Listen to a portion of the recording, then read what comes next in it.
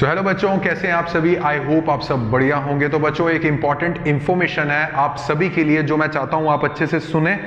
Yes, जो आपकी answer sheet है। आंसर शीट माने जो आपकी ओ शीट है उससे रिलेटेड एक बड़ा बदलाव आया है उससे रिलेटेड एक नई चीज़ शो की गई है। तो बच्चों आज के वीडियो में मैं आपसे डिस्कस करूँगा कि जो वो चीज़ जो नई इंट्रोड्यूस की गई है उसका कैसे आप लोगों को यूज़ करना है। बच्चों वीडियो स्टार्ट करने से पहले मैं आपको ज़रूर बताना चाहूँगा कि प्लस टू की सीरीज़ हमारे चैनल पे अच्छे से चल रही है। एमसीक्यूज आप हमारे साथ प्रैक्टिस करके चल सकते हैं। So do subscribe our channel तो बच्चों क्या चीज़ नहीं आई है मैं आप लोगों को बता देता हूँ। मान लीजिए मान लीजिए कि भैया क्वेश्चन नंबर वन है।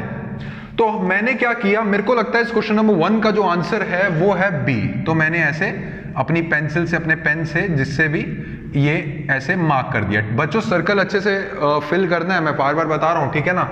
और अचानक से मुझे लगा कि नहीं यार बी आंसर नहीं होना चाहिए था। बच्चा फंस गया वहीं पे। तो बच्चों सीबीएसई e वालों ने कहा, टेंशन मत लीजिए, इस बार हम एक कस्टमाइज्ड ओएमआर शीट लेके आ रहे हैं। इस बार हम कुछ एक नई चीज़ इंट्रोड्यूस कर रहे हैं। वो नई चीज़ क्या है बच्चों? वो नई चीज़ है ये वाला बॉक्स अभी इसको नहीं देखेंगे आप लोग, अभी सिर्फ़ ये देखेंगे। आप लोग नोटिस करेंगे कि जैसे ही ओएमआर शीट आपके सामने आएगी A B C D option होंगे क्वेश्चन नंबर वन लिखा होगा और साथ में एक बक्सा नज़र आएगा आपको।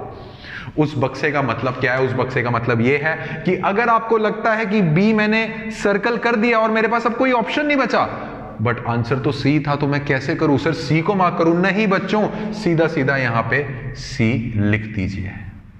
समझ में आई है बात के नहीं आई? कैसे? मान लीजिए क्वेश्चन नंबर टू है, इसका बना हुआ ए बी सी और डी और साथ में ये बक्सा बना हुआ है, और गलती से मैंने डी मार्क कर दिया ऐसे, और फिर मुझे पता लगा, अरे और इसका आंसर तो बी था। कुछ करने की ज़रूरत नहीं है, इसको छेड़ने की ज़रूरत नहीं है, सीधा सीधा यहाँ बी लिख दीजिए।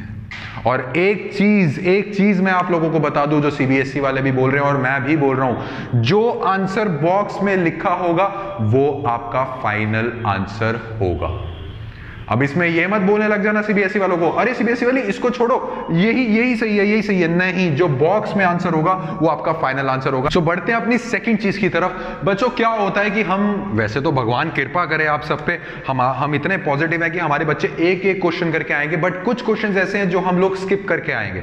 तो दूसरी चीज़ है हैश वाली चीज़। जैसे ही आप अपनी ओमर शीट देखेंगे तो आपको बक्से के साथ, ये तो मैंने समझा दिया, आपको हैश वाला एक नज़र आएगा कॉलम अब सर, ये हैश क्या है? बच्चों कभी कभार क्या होता है? मान लीजिए क्वेश्चन नंबर टू मुझे नहीं करना, मेरे को स्किप करना है तो ये चीज़ आपको करके चलनी है कि हैश टैग के नीचे, ये जो number two question number two के सामने एक हैश टैग के नीचे एक सर्कल बना रहा है, इसको आप सर्कल कर देंगे।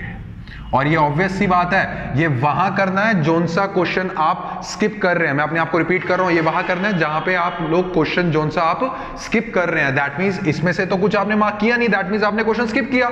दैट मीन्स यहाँ पे आपको ये मार्क करना है। तो बच्चों, ये थी आप लोगों के लिए दो चीज़ें जो मैं चाहता था कि आप लोगों से मैं बताऊँ, क्योंकि ये मोस्ट इंपॉर्टेंट चीज़ है, ये चीज़ मिस मत करना, मैं बार बार आपको बोल के चल रहा हूँ। क्योंकि हमारे जमाने में क्या होता था भाई, वो हमारी शीट होती थी बी ऑप्शन मार्क कर दिया, फिर याद आया सी है। हम भैया पेंसिल अगर पेन से होता तो कोई ऑप्शन नहीं है, अगर पेंसिल से होता तो हम घिसने लगे होते थे, नहीं यार बी को मिटा सी पे कर। तो आप लोगों के लिए एक अच्छी चीज़ निकाल दी बॉक्स वाली और हैश मैंने आप लोगों को समझा दिया।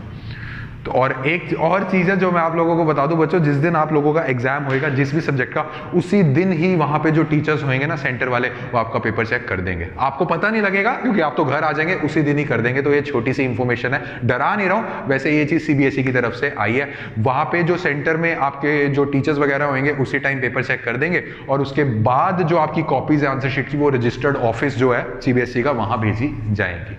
तो ये चीज़ तो अपने दिमाग से निकाल दो, इन दो चीज़ों को याद रखो। आशा करता हूँ बच्चों, आपको अच्छे से समझ में आया। फटाफट अपने दोस्तों को, जो आपके यार हैं, जो आपके दोस्त हैं, उनको ये चीज़ बताइए।